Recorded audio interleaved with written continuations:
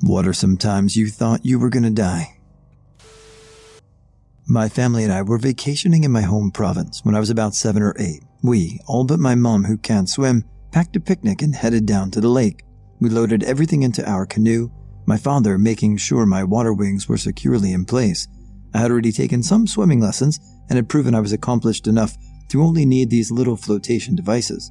My sister, who is three years older than me and a confident swimmer, hopped in the front of the canoe with her paddle, me in the middle, and my dad in the back, taking charge of the steering and really most of the paddling, lol. We set off from the beach and paddled for a while. We found a nice spot on the lake that had a little island with its own beach and a wharf nearby. And so, we decided to have our picnic on it. We get out, and while my dad secures the canoe to the wharf, my sister and I got ourselves comfortable, ready to eat our sandwiches and carrot sticks. We're all sitting down, unwrapping our sandwiches, ready to dive in, when a big gust of wind rushes by and whips the piece of plastic wrap that was around my sandwich right out of my hand and into the lake. The little environmentalist I was even back then doesn't think twice and leaps into the water. Who wants to be a litter bug, right? Now, I should mention that while my sister and I were getting ourselves comfortable on the wharf, I shed my water wings. My life preserver, though, I didn't know then how much I needed to rely on them. I'm now flailing in the water, my sister and father not realizing at first that I no longer had my floaties on. Once my sister does, she leaps in after me. Thank goodness, right? Wrong.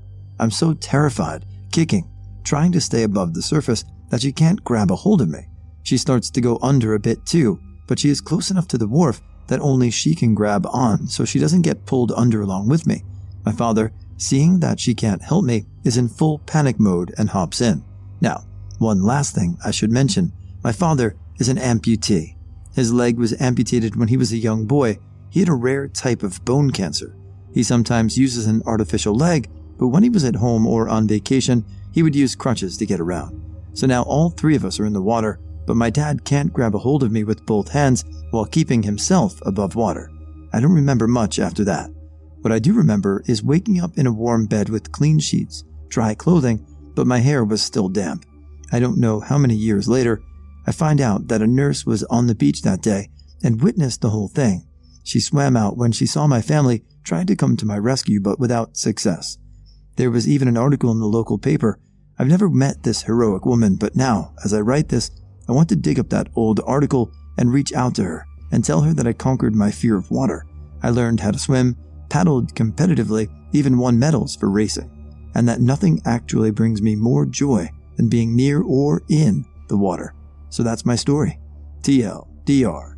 My father and sister tried unsuccessfully to save me from drowning when I was a kid. Thankfully, there was a nurse on a nearby beach who swooped in to the rescue and saved my life.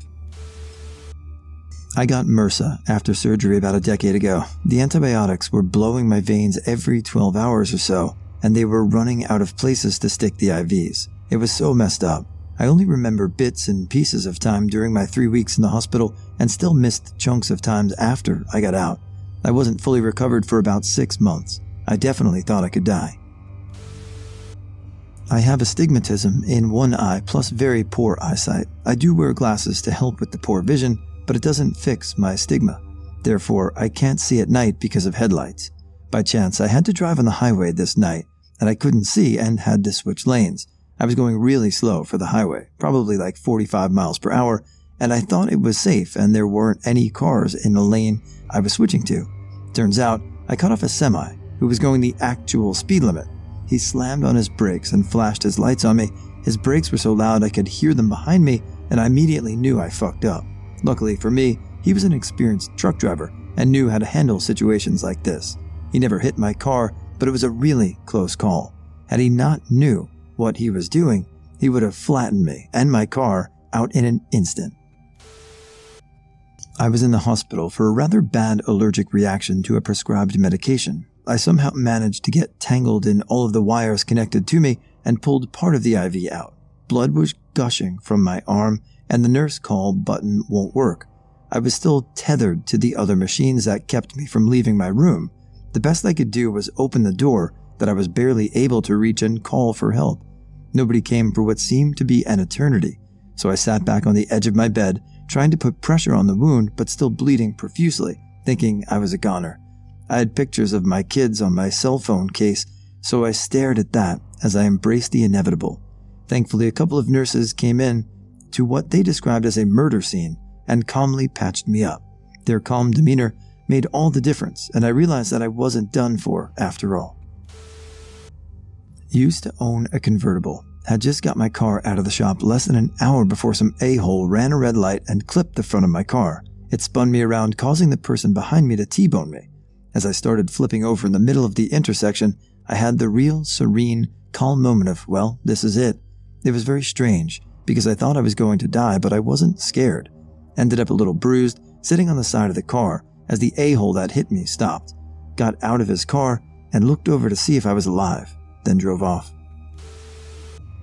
I was asleep and dreaming. In my dream, I saw a really old train casually driving through a typical Western movie landscape while continuously speeding up. My heart rate sped up with the train for whatever reason to the point it was pounding so loud I thought I'm having a heart attack. When I woke up, my heart rate began to slow down again, but I was only 10 and really thought I was going to die flew in a plane from Hawaii to California, and we were in really bad turbulence for a full three hours. I thought we were going to die. The movie Big was my sanity rock at that point. It was the only one of the in flight movie options that I had seen, so I just watched it on a loop to try to take my mind off of the terrifying turbulence. Haven't gotten on a plane since. Happened three days ago. My friends and I were driving in a car pulling a motorcycle trailer. My one friend was driving and the other on his phone in the passenger seat. I had my seatbelt off and was poking my head up front for a better view of where we were going. We're driving on a two way road out in the country, and it's a super long and straight road. We keep driving and get behind some guy going five under the speed limit. My friend decides to pass him before a hill and crosses the yellow line. We speed up to pass him, and just then, another car pops over the hill. Now we're on the left side of the road, neck to neck with the car we were passing, and there's a car heading straight for us. My dumbass friend decides we should speed up instead of braking. He speeds past the car we were passing and then swerved in front of him. We missed the other car by a couple of feet. This may sound bad now, but it gets worse. We were going 60 fucking miles per hour. I'm lucky to be alive. At the time, I didn't think anything of it, but looking back, was in elementary school and the fire alarm goes off. We figured it was a random drill, so the teachers line us up and we exit the school. We see some of the teachers panicking and pointing up. A tornado funnel cloud is just floating over the school. It ended up landing a few blocks away and hit the apartment complex that we lived in. My stepdad said it sounded like a train coming through. Didn't do much damage, just uprooted the fence around the pool and knocked down the wall where the dumpsters were kept but that could have been bad with the entire elementary school outside. I had taken a trip to Copper Mountain with a friend of mine many years ago. I was a more confident and experienced snowboarder than he was, and he did not want to go with me into the slack country, lift accessible backcountry. I made the foolish decision to go by myself and was having an amazing time in the fresh snow. I did not know the terrain at all and ended up somewhere I should not have been and fell off a cliff. I remember flying through the air, and then when I came to, I'd smashed my helmet and torn my jacket and couldn't move. I'd probably suffered a concussion and couldn't move my legs. I couldn't get to my cell phone and thought I was going to die. I'm not sure how long I laid there for, but within an hour, two people came across me. They could see me from their chairlift and saw that I was going towards a particularly dangerous path. By this point, I realized I was able to move my legs and they led me down to safety. I'm not that stupid anymore and I'm very grateful I was not paralyzed or worse on that day. Twice I thought I was going to drown. Once at a man made lake while at summer camp. It was concrete on the bottom up until a certain point, then it became sand. The tiny drop between concrete and sand was enough to put me under. Someone pulled me back, looked around, and didn't see anyone around me, so that made it weirder. Second time was at Plum Island, there with my dad, stepmom, and half brother. I was in the water up to my knees but there had been a big storm a day prior. Wave came in, knocked me down, and the rip pulled me out. Dad came running in and pulled me out by the hair. Better than drowning, honestly. I was sea swimming in Nicaragua and didn't notice the steady drift down the beach as I was having fun in the high waves. Then I looked toward the beach and saw a lot of rocks between me and it. Next wave was going to dash me against them pretty hard, so I scrambled to get on top of them before it hit. Somehow I was able to get on top before the next wave threw me over. Scraped my leg pretty bad, but managed to get back to land. Definitely had a this is how it ends moment. I was left unattended in a wave pool. There were no lifeguards on duty, and the other swimmer didn't really notice or give a shit. I thought I was going to die then. A few months ago, my skateboard fell into the ocean while skating on a path that was about 8 to 10 meters above the water. The waves were strong, but my skateboard was expensive, so I went to go retrieve it. Ended up getting bashed against the rocks and the seawall a few times, and I thought I might die. Luckily, I managed to find it after staying in the water for a few minutes. I almost fell off of a mountain. When I was in college, I took a mountaineering class in which we took several weekend trips to climb mountains. During one of those trips, we were near the summit of one, but we had to cross over a section that went around a sharp corner. Think of it like a wide wedge of cake sitting on the edge of a table, but the table is angled down 15 to 20 degrees. The table extended about 15 feet from the point before it ended in a sheer cliff. We had to walk or climb across that table, around the point of the corner, and up the other side. We were tied together in rope teams of three people each, and I was in the middle. The first guy crossed successfully. When I went, as I was crossing, I was holding on to the point of rock when the section I was holding onto broke off. I fell onto my back with this chunk of rock still in my hands, and I started to slide toward the edge, where a 100 foot fall awaited me. I tossed the rock off my chest and rolled over and tried to stop myself from sliding, but it did not work and just cut up my hands. When I had slid to within a few feet of the edge, the rope caught me. Luckily for me, the other guys on my rope team did what they were supposed to do and caught me. I still have a fear of heights that I got from that incident. When I was a kid, like 13 to 14, I was climbing in a red sandstone quarry, probably 60 to 70 feet off of a shallow lake. I climbed onto this ledge. As I took my foot off the previous ledge, it fell and crumbled into the lake. I was stuck, 60 ish feet up with no phone, no one around for a good couple miles. Parents would come looking for at least 12 hours, and they had no idea where I was. I was there for two hours holding on, couldn't go up and couldn't go down. I cried, had no idea what to do, thought I was going to slip and die. Got very, very lucky, and a random dog walker was in the quarry for whatever reason, saw me, and got a rope, and I got out. Thanked the guy, and we both shouldn't have been in the quarry. Got home and thanked my lucky stars.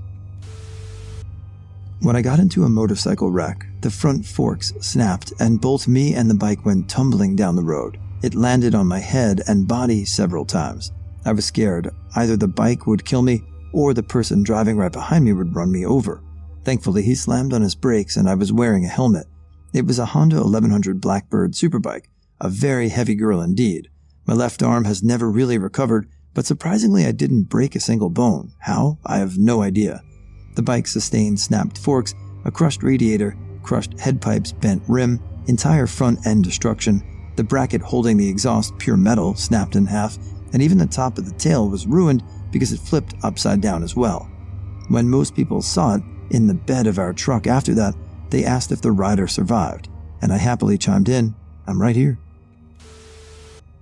I had to have emergency surgery for an ectopic pregnancy six years ago. I've never had any major surgery prior to that day in my life, and going in, I was very anxious over the small possibility that something could go awry and I could die. As the anesthesiologist was putting me under, I really thought it could be the end. When I crashed into an oncoming vehicle, I don't remember much of the crash, but I remember smoke inside the car. It was the airbag that had exploded. I remember trying to open the driver's side door, but couldn't. My arms were numb. I thought I broke it. Luckily, there was another car driving behind me that called 112, the 911 where I live, and that was the longest ride to my hospital I'd ever been on. I was in shock and my legs were shaking like crazy because of it. Came out with nothing but some glass splinters in my head and a very bruised arm, and the word back pain I've ever felt. They thought I broke it in the ambulance, so I went through one of those x ray tunnels, can't remember what they're called. Luckily, my car was built like a tank, but was a complete wreck afterwards. The other guy I crashed into survived, also with just a hurt hand, didn't go to the hospital until the day after.